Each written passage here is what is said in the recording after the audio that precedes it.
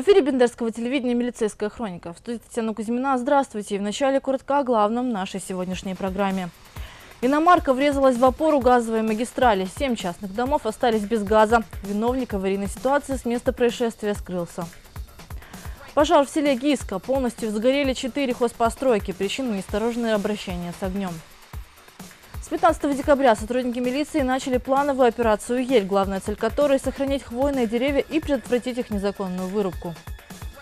Чемпионат по плаванию в МВД. Сотрудники Бендерского УВД вернулись домой с серебром. 12 декабря около 6 часов утра автомобиль марки «Крайслер» врезался в опору газовой магистрали. Труба лопнула, произошла утечка газа. Водитель ДТП скрылся с места происшествия. На перекрестке улиц Осаки и Некрасова произошло дорожно-транспортное происшествие. Находившийся за рулем автомобиля марки «Крайслер» мужчина не справился с управлением и врезался в опору газовой магистрали. Водитель транспортного средства скрылся с места происшествия. В результате аварии произошла утечка газа. От газоснабжения были отключены 7 частных домовладений. Повреждение газопровода устранено специалистами управления газового хозяйства города Бендеры за кратчайшие сроки. В ходе разбирательства милиционеры установили виновника дорожно-транспортного происшествия происшествия. Им оказался ранее судимый 28-летний бендерчанин. Разбил он не свой, а чужой автомобиль. Владелец иномарки оставил машину для ремонта в автомастерской, где работает подозреваемый. 12 часов ночи автослесарь мне позвонил, говорит, что не может завести машину, говорит, э, чтобы загнать в бокс ее к себе. Я говорю, выжми до конца сцепления, до пола и заводи. И он, он по телефону говорит, а, все, завелась. Угу. После этого он мне позвонил в 5 утра и говорит, что мою машину угнали. Я говорю, а как угнали? Он говорит, что... Ну, я ее не смог вчера завести, оставил на улице. Я говорю, ты же мне звонил, что загнал ее в бокс. Он говорит, не, не смог завести, говорит. Не, не загнал в бокс, она стояла на улице, говорит. Говорит, что теперь делать? Я говорю, ну, сейчас позвоню в милицию. И только я набирать милицию, а он тут же перезвонит, говорит, о, мне позвонили, ее нашли, она на Некрасова возле шестой школы. Угу. Говорит, что мы уже туда с отцом подъезжали, но мы ее не можем вытянуть. Молодой человек воспользовался этим и решил покататься за чужой счет. В настоящее время ВВД проводит проверку. По улице Панина в селе Гиска полностью выгорели четыре хозпостройки. К счастью, никто не пострадал. Дознаватели по пожарам выясняют точную причину возгорания. Около 7 часов вечера в селе Гиска жители пятиэтажек по улице Ленина услышали за окнами звуки, похожие на сильный треск. Оказалось, на улице горят сараи. Сейчас вы видите кадры, снятые на мобильный телефон очевидцами произошедшего. Огонь достигал нескольких метров в высоту. По словам очевидцев, пожарные приехали за считанные минуты. Прибыв по месту происшествия, пожарными было обнаружено, что возгорание произошло в небольших сараях, расположенных во дворе этого дома которые были вот повсеместно, ну, как бы так с двойными парами расположены. Очаг возгорания находился вот в этом месте. Тут в том числе были тоже небольшие сараи. А, очевидцы позвонили, сказали, что пламя вырывается из-под кровли. Она, когда прибыли, уже к тому времени кровля частично обрушилась, уже пламя вырывалось из-под дверей. В день возникновения возгорания люди находились до этого.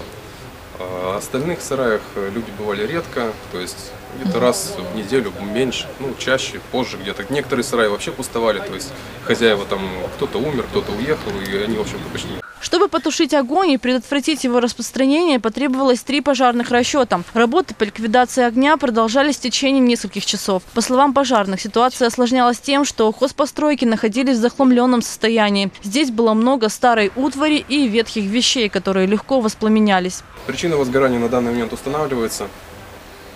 Но, вероятно, вероятно, возможно, неосторожное обращение с огнем. Угу. Общая площадь пожара составила более 20 квадратных метров. Полностью выгорели четыре хозяйственные постройки. В настоящее время дознаватели по пожарам проводят проверку. Выясняется точная причина возгорания. По предварительной версии, пожар мог произойти из-за неосторожного обращения с огнем.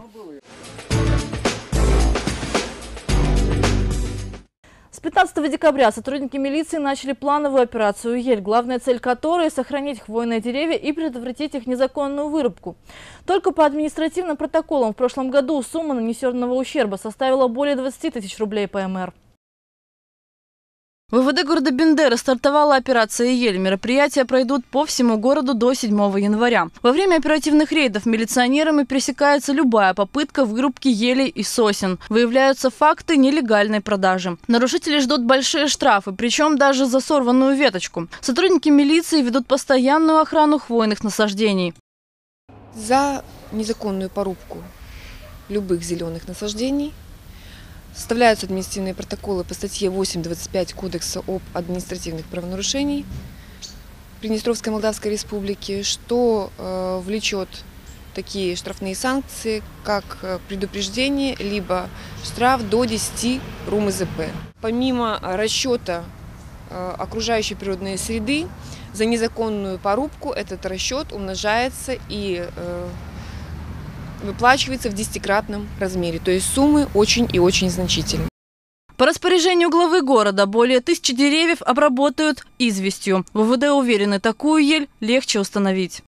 Милиционеры предупреждают, незаконная вырубка деревьев является преступлением. Сумма штрафа в десятки раз превышает стоимость елки, которую можно свободно купить на елочном базаре. За незаконную вырубку деревьев предусмотрена как административная, так и уголовная ответственность. Согласно Кодексу об административных правонарушениях ПМР, совершение подобных противоправных деяний влечет наложение штрафа в размере до 15 тысяч рублей ПМР. Санкция статьи 256 Уголовного кодекса ПМР предусматривает арест сроком до 6 месяцев. 5 декабря в Сдешур плавания города Тирасполя прошел ежегодный чемпионат МВД по плаванию. В этом году соревнования проводятся уже в 13 раз. Сотрудники Бендерского УВД вернулись домой с серебром командном заплыве на 150 метров вольным стилем первенства оспаривали 14 сборных. Каждая команда состояла из двух мужчин и одной девушки. По итогам соревнований в общекомандном зачете победу завоевала сборная «Аброн Днестр». На вторую ступень пьедестала поднялись спортсмены УВД города Бендеры. Тройку лидеров замкнула сборная управления ГАИ МВД ПМР. В ходе чемпионата были определены лучшие пловцы в личном зачете. У девушек, преодолевших дистанцию в 50 метров, первое место заняла солист-вокалист оркестра «Аброн Днестр» МВД ПМР Ольга Шатова. Серебро досталось Давыдовой Мариане, сотруднику УПО ГУПЧС. А на третьем месте инспектор канцелярии УВД города Бендеры Лысова Татьяна. Среди мужчин в заплыве на дистанцию 50 метров вольным стилем первым стал начальник паспортного отдела управления по делам миграции Максим Черняк. Второе место занял инспектор миграционного отдела управления по делам миграции Сергей Быченков. Третье – старший инспектор отдела кадров УВД города Бендеры Сергей Караман. Заместитель начальника УК МВД ПМР Иван Назарко и начальник отдела профессиональной подготовки управления кадров по работе с личным составом МВД ПМР Евгений Мельник вручили победителям заслуженные награды, грамоты, медали и кубок чемпионата, а также ценные призы.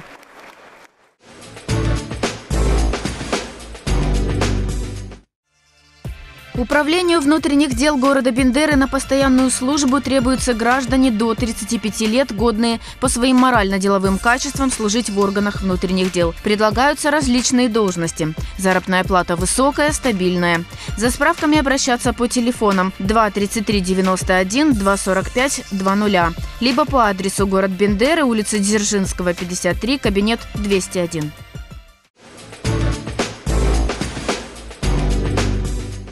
Это все, что подготовила пресс-служба УВД города Бендера на этой неделе. Увидимся ровно через 7 дней. Берегите себя и своих близких. До свидания.